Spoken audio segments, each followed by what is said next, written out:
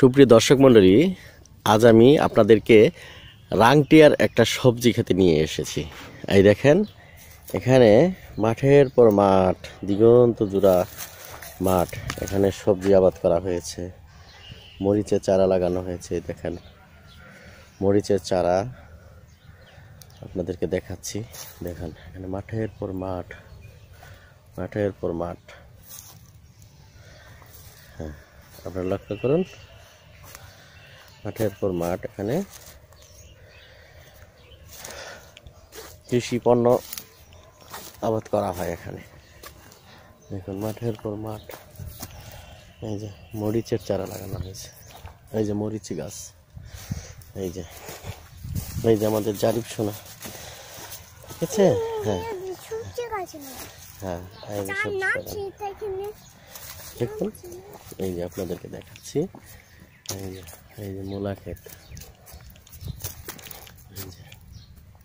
দূরে সরিষা। এই যে মূলা লাগানো হয়েছে। এই যে মূলা এগুলি মূলা গাছ। মূলা? মূলা গাছ। হ্যাঁ দেখুন। আপনারা খুব ভালো করে খেয়াল করুন। এই যে মাঠের পর মাঠ সবজি। এই এলাকার খুবই বিখ্যাত সবজি এগুলি। সবজি লাগানো হয়েছে। এই যে এই যে বরবটি গাছ। এখন বরবটি ধরে আছে। এই যে এই যে সবজি। যেদিকে যাবেন সেদিকে শুধু সবজি আর সবজি সবজি বাগান। এই যে এই যে সবজি বাগান।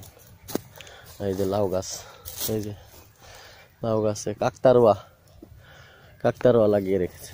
দেখুন আপনারা খুব ভালো করে লক্ষ্য করুন। এই দেখেন সবজি। এই যে সবজি খেতে সেচ দেওয়ার জন্য এই যে কুয়া এই কুয়ার পানি। কুয়া হ্যাঁ। এই দেখেন সবজি। এই যে এই যে সিম সিম গাছ। এই যে সিম ধরে আছে। ভালো করে খেয়াল করুন। সিম গাছ? সিম গাছ এই যে জারিফ সোনা। জারিফ বাবু। হ্যাঁ ঠিক আছে? হ্যাঁ। হ্যাঁ হ্যাঁ। এই যে মিষ্টি কুমড়া গাছ। দেখুন আমি আপনাদেরকে সবই দেখাচ্ছি। এই যে এই এলাকা সবজি প্রধান এলাকা। নিকটেই গারোকুনা নামক একটা জায়গা আছে। সেই জায়গাটা সবজির জন্য খুবই বিখ্যাত। সারা বাংলাদেশের মধ্যে খুবই বিখ্যাত গারোকুনা সবজি। এখানে সবজি বীজ লাগালেই হয়ে যায় খুবই উর্বর মাটি। খুবই উর্বর। পাহাড়ি নদী আছে, এখানে মহারশী নদী। নদীর পলিমাটি, এখানে সব খুব সুন্দর হয়ে যায়। এখানে। আমি আপনাদেরকে সবই ঘুরে ঘুরে দেখাচ্ছি। আজকের এই ব্লগে আমি আপনাদেরকে এই রাংটি এলাকায় যত সবজি ক্ষেত আছে, সবগুলি দেখানোর চেষ্টা করব। আপনারা দেখুন। এই যে, লাউ গাছ লাউ গাছ, সবজি। এই দেখুন, কি সুন্দর। এখন আর বাঁশের বেড়া দেওয়া হয় না। এখন সুন্দর সুতা পাওয়া যায়। এই সুতা দিয়ে এই বেড়াগুলি দেওয়া হয়। সুতা পাওয়া যায়, সুতা দিয়ে বেড়াগুলি দেওয়া হয়। এই দেখুন সবজি। এই যে। এই যে সবজি। দেখুন দেখছেন? প্রচুর সবজি। এই যে নিচে। জাংলার নিচে দেখেন মূলা তারপরে বরবটি সরিষা এগুলি লাগানো হয়েছে আর উপরে জাংলা দিয়ে সিম লাগানো হয়েছে এই যে।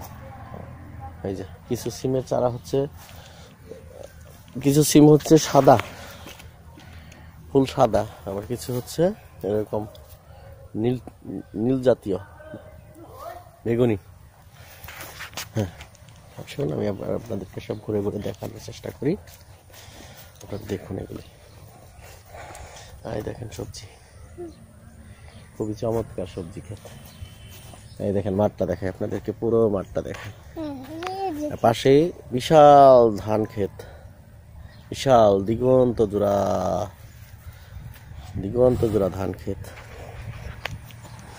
দিগন্ত জোড়া ধান ক্ষেত। বিশাল দিগন্ত জোড়া ধান ক্ষেত। হ্যাঁ হ্যাঁ হ্যাঁ। সাবধানে আসো, জারিফ। হ্যাঁ পার হো আস্তে আস্তে পার হো আস্তে আস্তে পার হো পার হো পার হো এই তো পার হয়ে গেছে। আসুন, আমি আপনাদেরকে দেখানোর চেষ্টা করি। পুরো ভিউটা দেখানোর চেষ্টা করি। দেখুন দেখুন কি সুন্দর। কি সুন্দর একটা প্রাকৃতিক পরিবেশ এখানে বিরাজ করছে। এটা হচ্ছে সেই রাংটিয়া সবজি ক্ষেত। আমি আপনাদেরকে দেখালাম এই যে আমি আর জারিফ এই ব্লগ করতে এসেছি। জারিফ টাটা দাও টাটা। হাই হাই বলো হাই বলো বাবা। হাই হাই ভিউয়ার্স আমাদের ভিডিও দেখে যদি আপনাদের ভালো লাগে বলো তাহলে আমাদের ভিডিও আমাদের চ্যানেলটা সাবস্ক্রাইব করুন বলো সাবস্ক্রাইব করুন সাবস্ক্রাইব। করুন লাইক দিন। লাইক দিন। লাগেন হ্যাঁ তারপরে শেয়ার করুন। শেয়ার করুন। কমেন্টস করুন। ভালো কমেন্টস করুন। আর। আমাদের চ্যানেলটা সাবস্ক্রাইব করে দিয়েন। প্লিজ সাবস্ক্রাইব করে দিন please please please please please please subscribe করে দাও হ্যাঁ সবাই সাবস্ক্রাইব করে দাও সাবস্ক্রাইব করে দাও। দাও দাও আমরা তোমাদের জন্য কষ্ট করে ভিডিও বানাই সাবস্ক্রাইব করে দাও। হ্যাঁ ভিডিও বানাই তোমরা সাবস্ক্রাইব করে দাও।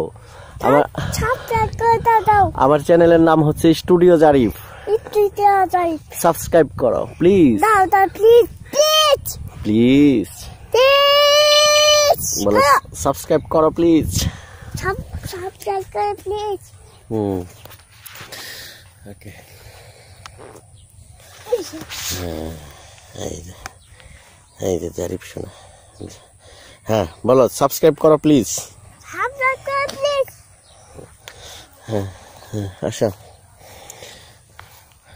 আচ্ছা আচ্ছা হ্যাঁ এই যে দিগন্ত জোড়া মাঠ, ওই যে দূরে আর একটা আর একটা সবজি ক্ষেত দেখা যাচ্ছে, ঠিক আছে। তোমরা সবাই আমাদের এই চ্যানেলটাকে সাবস্ক্রাইব করে ফেলো।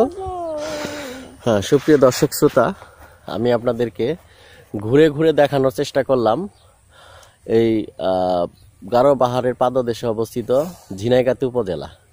সেই উপজেলার প্রত্যেকটা গ্রাম এরকম সবুজে শ্যামলে ভরপুর। এখানে শস্য যেদিকেই তাকাবেন সেদি- সেদিকেই শুধু শস্য ক্ষেত আর শস্য ক্ষেত। এখানে বেশি বেশি চোখে পড়ে সবজি ক্ষেত।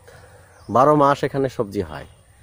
এখানে তারপরে ধানের ফলনও খুবই ভালো এবং শেরপুরের যে মাটি, এগুলি ধান বিভিন্ন সবজি, ফলমূল এক কথায় মানে প্রাকৃতিক সম্পদে ভরপুর আমাদের এই উপজেলাটা। এখানে মানে খুব একটা পরিচর্যাও করা লাগে না। আপনি যা লাগাবেন সেটা সুন্দরভাবে হয়ে যায় এখানে। কোনো সমস্যা হয় না। খুবই এখানকার কৃষকেরা মানে অনেক উৎপাদন করে। সারা বছর তিন চারটা ফসল হয়। এক, একটা জমিতে তিন চারটা ফসল করা যায়। এখানে সেচের ব্যবস্থা খুবই ভালো। পাশে রাবার ড্যাম আছে। রাবার ড্যাম করা হয়ে, হয়েছে। খুবই খুবই সুন্দর এবং আমি যে জায়গাটায় ভিডিও করতেছি, এটার ঠিক পাশেই হচ্ছে মানে গজনি অবকাশ, তারপরে ই আছে এখানে রাবার বাগান আছে। বিভিন্ন অনেক সুন্দর জায়গা। তো আজকে আমি আপনাদেরকে একটা সবজি ক্ষেত দেখানোর চেষ্টা করলাম। এখানে সবজি আবাদ করা হয়েছে। ঠিক আছে? খুবই সুন্দর একটা জায়গা। তো আপনারা আমাদের এই চ্যানেলটা সাবস্ক্রাইব করে ফেলুন আমাদের সঙ্গেই থাকুন। আমরা আপনাদের জন্য আরও সুন্দর সুন্দর ভিডিও নিয়ে যেন হাজির হতে পারি। আপনারা সাবস্ক্রাইব করলে আমরা এই ভিডিও বানানোর উৎসাহগুলি পাই। তো আমাদেরকে প্লিজ সাবস্ক্রাইব করুন। জারিফ হ্যাঁ দর্শকদের উদ্দেশ্যে কিছু বলো। বলো প্লিজ সাবস্ক্রাইব করুন। হ্যাঁ আমরা ভিডিও বানাচ্ছি আপনার জন্য। ওকে ওকে ওকে ওকে ওকে